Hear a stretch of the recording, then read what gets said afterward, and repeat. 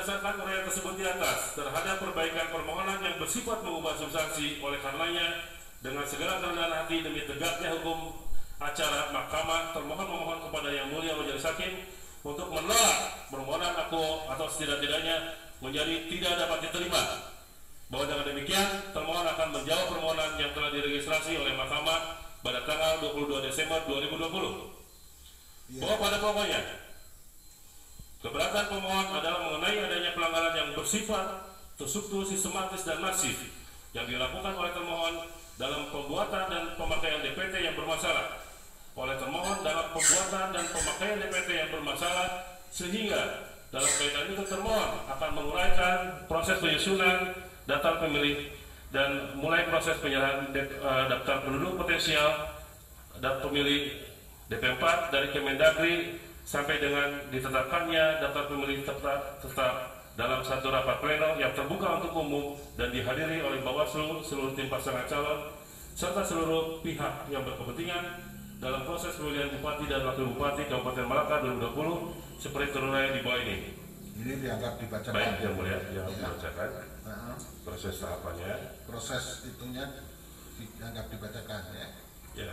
Ya, terus yang jawab dari halaman 10 yang mulia. Ya, bahwa berdasarkan fakta dan dasar pengaturan sebagaimana tersebut di atas dengan segala kerendahan hati termohon mohon kejaksaan yang mulia menjadi hakim untuk menyatakan tidak berwenang kerja dan mengadili memutus perkara perselisihan penetapan perolehan suara pemilihan bupati dan bupati Malaka tahun 2020 perkara mendepan ini terkait tahapan tadi yang mulia. Ya. Kemudian eh, eksepsi obscure label di halaman 11 bahwa dalam pokok permohonan angka 6 dalil mengenai dasar hukum peraturan Mahkamah Konstitusi PMK tidak jelas.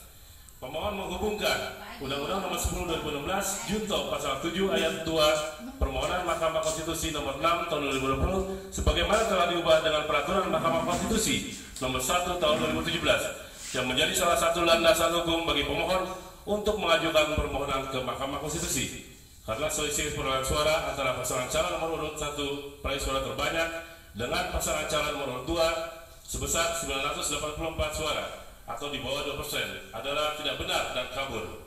Karena menurut termohon, Junto pasal 7 ayat 2 Peraturan PMK nomor 6 tahun 2020 sebagaimana telah diubah dengan Peraturan Mahkamah Konstitusi nomor 7 tahun 2020 bukan Peraturan Mahkamah Konstitusi nomor 1 tahun 2017.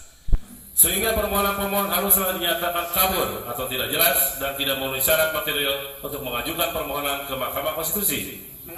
Baik selanjutnya dianggap dibacakan yang mulia terkait dengan apa terstruktur, sistematis dan masif. Ya. Kemudian eh, terkait dengan pelanggaran TSN.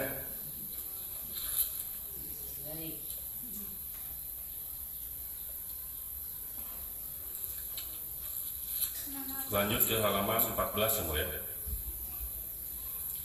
Dalil pemohon mengenai termohon melakukan rekayasa sistematis berupa pencantuman pemilih siluman serta definisi dan kualifikasi pemilih siluman Oh yang ya, itu ma maskernya dipakai, jangan dibuka. baik yang mulia. Enggak apa-apa terdengar. Baik. Ya.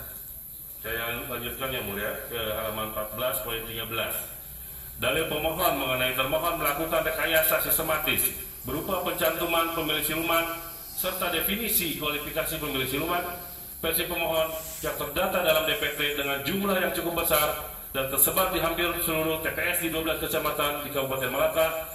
Sebagaimana dimaksud dalam angka 10, 11, dan 12 permohonan pemohon adalah dalil yang tidak jelas dan tidak berdasar karena dalil yang diajukan oleh pemohon hanyalah menyebutkan adanya rekayasa sistematis pemilih siluman dalam DPT dengan tidak menjelaskan bagaimana hubungan sebab akibat antara adanya pemilih siluman tersebut dengan perolehan suara pasangan calon.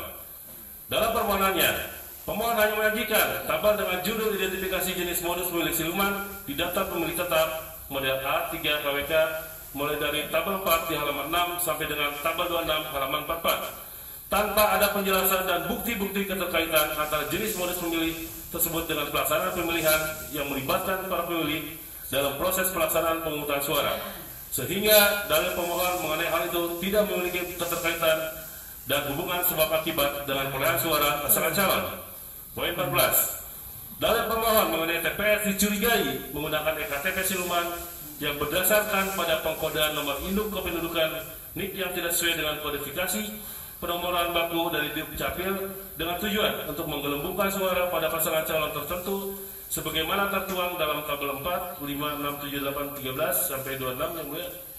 Dari mulai halaman 9 sampai dengan halaman 44 adalah dalil yang tidak jelas karena dalil tersebut didasarkan pada kecurigaan dan asumsi pemohon serta tidak didasarkan kepada fakta hukum.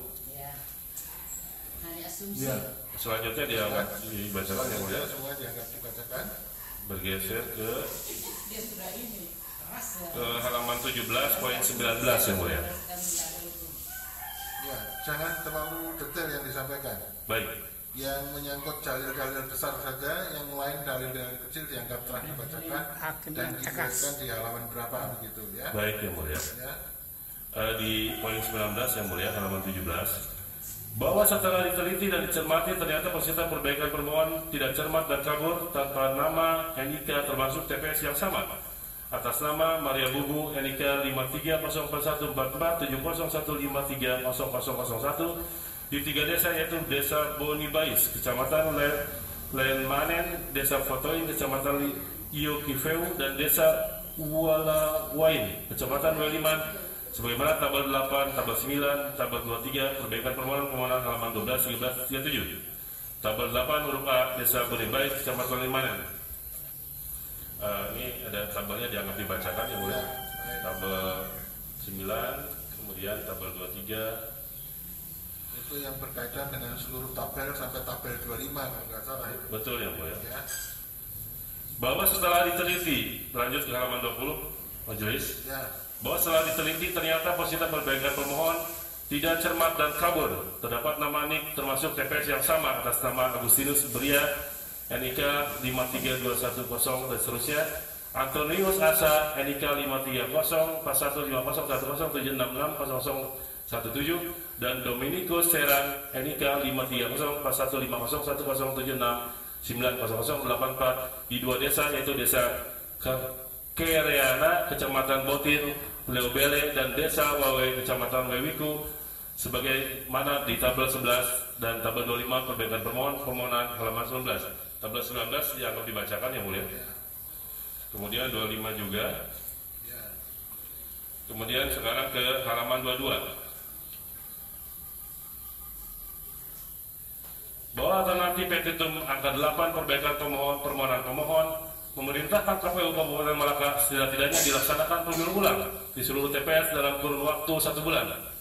Dalam permo- pemohon tidak meminta pemungutan suara ulang atau pemungutan penghitungan suara ulang atau penghitungan surat suara ulang.